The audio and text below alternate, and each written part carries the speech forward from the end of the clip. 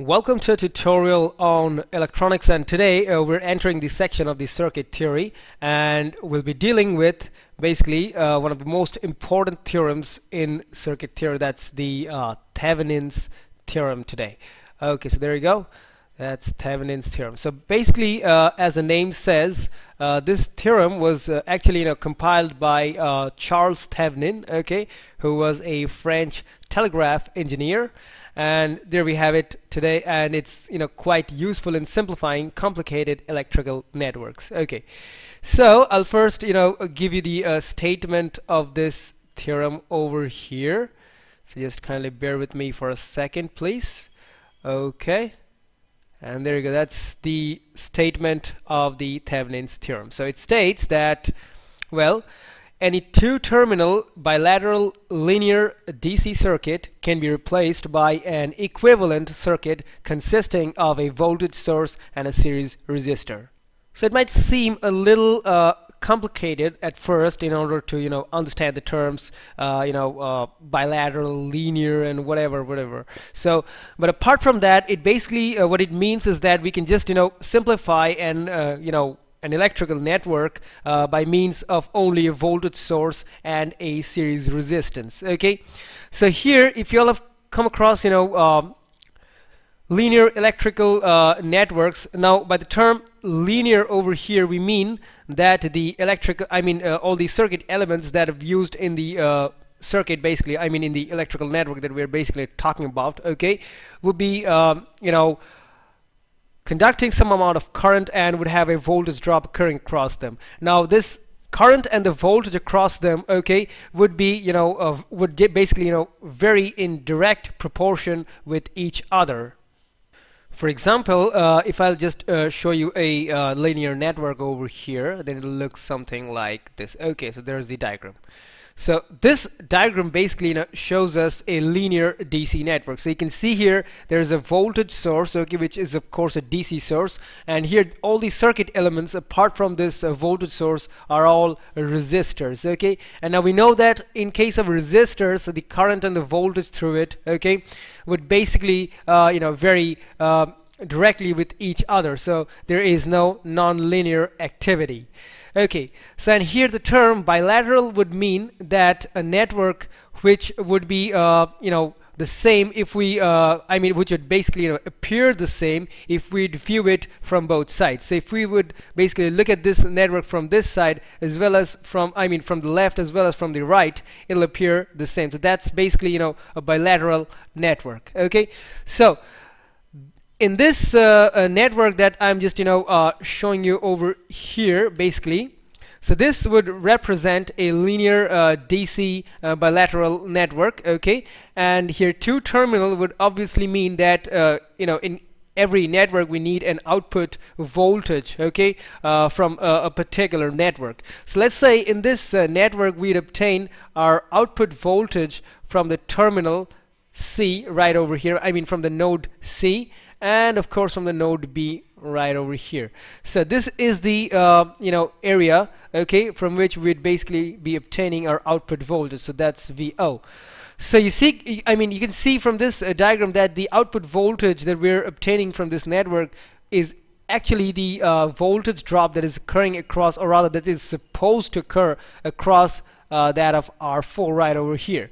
So the resistance R4 over here serves as our load resistance okay? So it's basically our load resistance or the device okay across which we are basically you know uh, taking the load. I mean taking the output voltage. So here um, R4 is our load resistance okay? So there you go.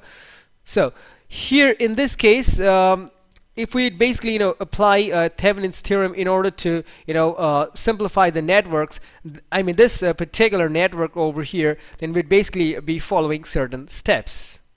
Okay now uh, here if we would basically uh, you know uh, try and simplify this network over here then we'd be basically simplifying this much part of the uh, you know the network over here okay? Since uh, the R4 serves as the uh, load resistance uh, like that what, what we have uh, I mean we have assumed over here. And the end product of you know the simplifying this network would be something like this okay? Yeah there you go. So upon simplification of this electrical network we'll be obtaining an equivalent network okay based on Thevenin's theorem okay uh, that would look basically something like this okay? So here we'd have a uh, Thevenin voltage source okay in series with the uh, Thevenin resistance. All right. So here uh, are the steps of you know basically uh, simplifying a network using Thevenin's theorem okay? So step number one remove RL. Now RL would serve as the, I mean RL basically stands for the load resistance. So here in our network, okay, that you can see over here, basically gotta remove uh, uh, the R4 resistor because this serves as our RL. Okay, so upon removal of this uh, resistor R4, our network would apply, I mean appear as something like this.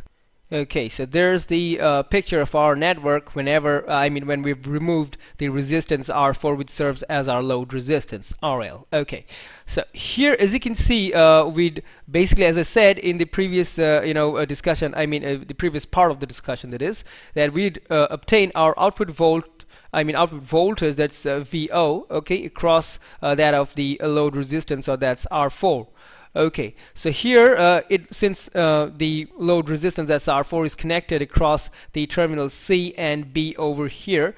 So here we're going to basically obtain our uh, you know the open circuit voltage okay known as VOC across this terminal in this case. Okay. So keeping that in mind, here we'd have our step number two, which says find the VOC, that's the open circuit voltage, okay, across the open load terminals. And that's the required Thevenin voltage, okay. So if we'd obtain our uh, open circuit voltage over here, then obviously we'll need to apply you know basic rules of network analysis now here since we uh, have this path disconnected okay and a voltage source Vs is present over here then it's quite likely that a current from this voltage source would basically uh, you know move on through this loop only okay so here we'd have a current flowing from this voltage source okay uh, flowing across R1 and R3 only and not entering R2 at all because this path is open and due to no current flowing through the resistance R2 uh, there would basically be no voltage drop occur occurring across uh, this resistance R2 over here. So the potential uh, drop at the uh, node A would be the same as that across node C. Okay, so if we had basically uh, you know treat it mathematically, then we'd obtain this particular uh, you know I mean this particular um, voltage drop that would occur across the terminals C and B over here would be the same as the voltage drop occurring across the uh, resistance R3 so that across A and B terminals. So it could be obtained mathematically as something like this. If we just try and find out the current flowing through the network then it would basically be I equals VS by R.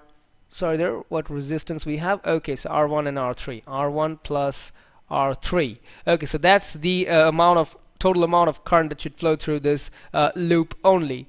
Okay and then we need to find the uh, voltage across that of R3 okay so in that case we have the current okay and now uh, the output voltage would be the voltage drop across R3 so now the voltage drop across R3 is given by so I'll, I'll just basically write it write it down as you know VR3 that's given as I into or rather I multiplied by R3 so that we'll basically get it as you know this is the uh, value of I over here. If we just you know substitute it right here then we can get uh, okay Vs by R1 plus R3 and this whole thing multiplied by the value of R3 okay so this is particularly uh, the voltage which we are basically asking for. So therefore our open circuit voltage or rather uh, also we can call it the uh, equivalent Thevenin's voltage is given by you know Vs R3 by R1 plus R3 okay so this particular uh, value of the uh, voltage drop that is occurring across that of R3 and hence across the uh, terminals C and B uh, would be our required open circuit voltage or the Thevenin's voltage that's represented by VTH. Okay, so now we'd move on to step number three over here. Okay, so point number three states that I mean after we found out uh, you know the Thevenin's voltage and all okay it states that short all voltage sources and open all current sources. Okay so we'll just search our network for all these uh, you know voltage sources and current sources. Okay so let's get back to our network. Okay so this is our network. Now here uh, we only see a voltage source Vs. We don't see any current sources. So as it says we need to short all the voltage sources and open all the current sources. Okay so we'll basically do that now as our network has only a voltage source. We need to just short it down. Okay. And it'll appear as something like this. So there you go. So upon shorting the voltage source that's Vs right over here upon just you know just short circuiting this path will basically obtain the network is something like this. Now you can see that the open terminal is basically uh, that across I mean uh, that of the terminal C and B. Now we need to look at the network through this direction. And now looking through this direction we need to imagine that a current would basically enter the network through this particular direction and would basically exit in this way. So just imagine it this way okay? No actually no current is basically entering or leaving the circuit. We just need to imagine that okay? So now if this current I would enter uh, this network through this uh, uh, you know the uh, terminal C then it'll pass through R2 okay? And then at from the node of uh, A okay it'll basically divide into two paths. One across I mean one through R1 and the other through R3 so we'd have two branches of this current. So let's just call it I1 and I2 and then again it'll unify and leave the terminal uh, I mean leave this uh, you know network to terminal B. Uh, I mean just it'll just basically add up with itself and just leave it okay? So now we can see that uh, here the resistance R2 okay is coming in series and R1 and R3 are parallel to each other. So here the uh, net resistance needs to be found. Okay.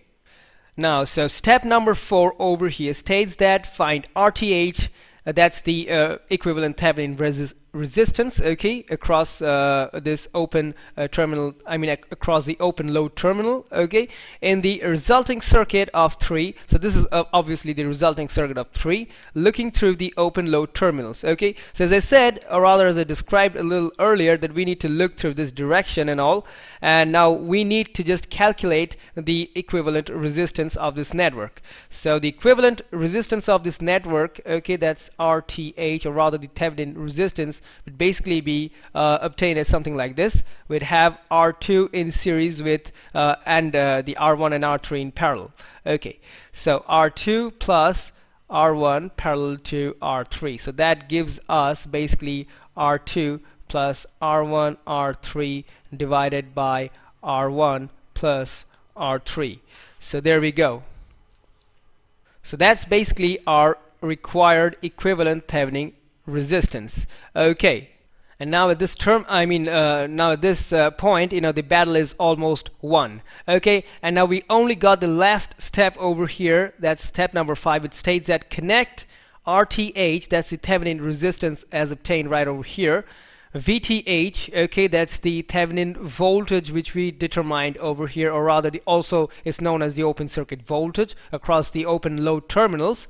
And now we just need to connect the RTH VTH and RL that's the resistance R4 in series to get the simplified network and finally over here we're basically gonna get our simplified network in just a few moments. Okay there it is.